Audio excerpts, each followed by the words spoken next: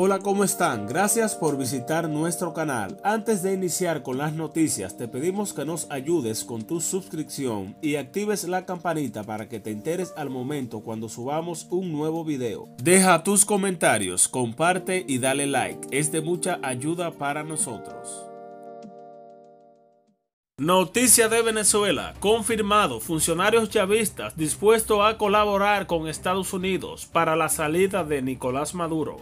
Iván Simonovic, comisionado especial de seguridad e inteligencia del gobierno encargado de Venezuela, aseguró que funcionarios del régimen de Nicolás Maduro colaborarán con los Estados Unidos para tratar de salvarse o negociar una pena un poco menor. Nicolás Maduro en estos momentos está en riesgo de ser entregado por los allegados más cercanos.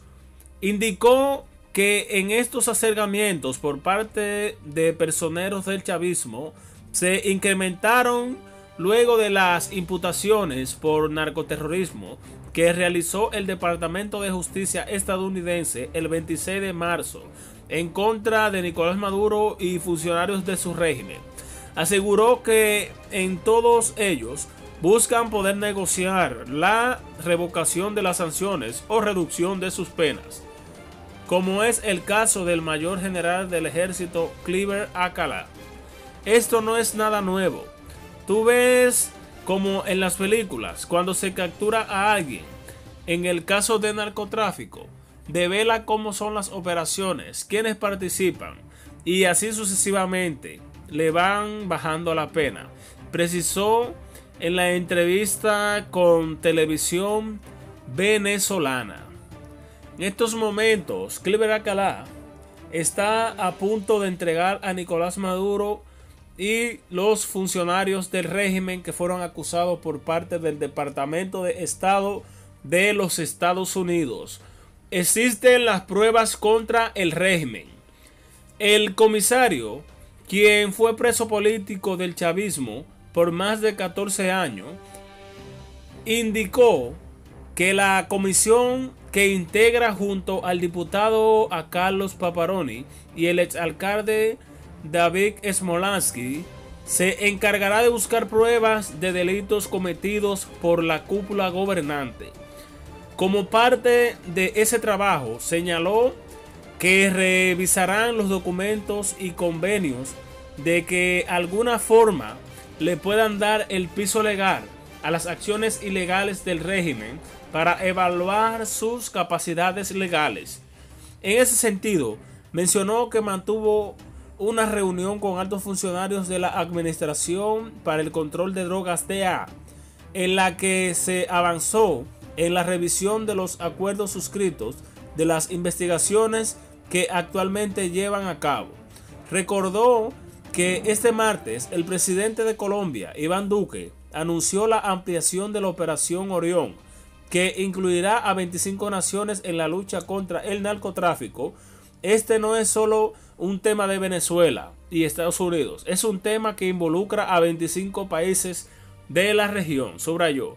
Afirmó que todas estas acciones van dirigidas hacia la detección de los involucrados en el delito de tráfico de drogas y territorio.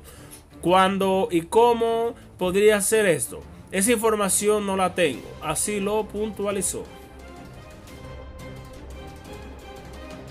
En otro ámbito, María Corina Machado viene más fuerte que nunca. No basta con sacar a Nicolás Maduro. Hay que demostrar que está envuelto de todo un sistema criminal. La Coordinadora Nacional de 20 Venezuela destacó que el cambio político en Venezuela no depende solamente de la salida del régimen, sino también de la creación de una república con pilares éticos sólidos apuntó que para lograrlo, el gobierno de transición debe asegurar la transparencia. Hay que garantizar que el gobierno de transición tenga todos los incentivos, límites y restricciones para evitar que aquellos que son parte del sistema del status quo conviertan la transición en una transacción al estilo ruso o nicaragüense. La transición debe tener como prioridad un cambio en el sistema político y atacar la corrupción, apuntó.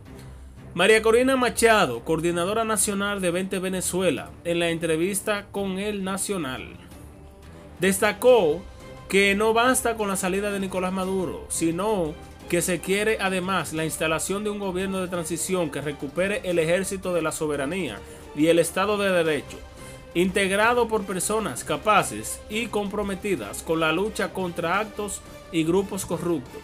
No basta con sacar a Maduro, es indispensable, no es suficiente. Hay que demostrar un ecosistema criminal terrorista, no solamente en su cúpula, sino en toda su estructura. Y eso pasa por desenmascarar a los cómplices externos e internos que pretenden mantenerla, manifestó. Noticia de Venezuela, confirmado. Mike Pompeo asegura que no hay ninguna sanción que pida enviar ayuda humanitaria a Venezuela e inclusive a Irán. Mike Pompeo es el secretario de Estado norteamericano que desde abril del año 2018 llegó al cargo después de algo más de un año al frente de la CIA. Nacido en California, es de origen italiano y fue desde el 2011 y hasta su nombramiento en la CIA, miembro de la Cámara de Representantes por un distrito de Kansas. Este miércoles mantuvo una entrevista telefónica sobre las consecuencias del COVID-19 con un grupo de médicos europeos que los estaban entrevistando a través de ABC Corriente de la Cera, del Espectador, La Opinión y Bill. Lo que más le preocupa al presidente Donald Trump es la desinformación sobre lo que está pasando en China, el origen del COVID, que ha habido funcionarios chinos que han sugerido que esa situación fue importado a su país e incluso se señaló que hay un origen norteamericano. ¿Cuál sería la preocupación que hay sobre la desinformación del tema? El mundo entero necesita transparencia y datos e información exactos. Cualquier país o cualquier dirigente que intente minar eso con desinformación sobre una crisis sanitaria representa un riesgo. La razón por la que son necesarias en estos momentos la transparencia y la apertura no es solo por el origen de la pandemia, también por lo que está pasando en el presente. ¿Dónde lo hay? ¿Cuántos casos hay? ¿Cuál es la naturaleza de dicha enfermedad? Es la cuestionante. Hace dos semanas, muy al principio, el presidente dejó muy claro, cuando habló sobre esto, un alto cargo chino que insinuó que la pandemia había sido llevado a cabo desde, desde China. ¿Por qué no levanta Estados Unidos las sanciones a Venezuela? El secretario de Estado se toma 5 segundos antes de responder. En cada uno de esos casos, en Venezuela, la ayuda humanitaria que necesitan, eh, a través de esto, que han sido muy golpeados por la situación actual, ninguna sanción que impide el envío de ayuda humanitaria. A ninguno de ellos no la hay. Las sanciones no se aplican al envío de medicamentos y equipos farmacéuticos. De hecho, sé que en el caso de Irán hay países que han conseguido hacer llegar ayuda humanitaria. Estados Unidos ha ofrecido esa ayuda a ambos países y también a Corea del Norte. Entendemos que esta es una crisis humanitaria y la confrontamos como tal. Pero también conviene tener presente que la primera respuesta en cada país debe ser que sus dirigentes se hagan cargo en primer lugar, que tomen buenas decisiones por parte de sus gentes. Nosotros queremos mejorar las vidas de las gentes de Venezuela. Queremos que consigan ayuda humanitaria lo que apoyaremos con todas nuestras fuerzas. Así lo aseguró Mike Pompeo.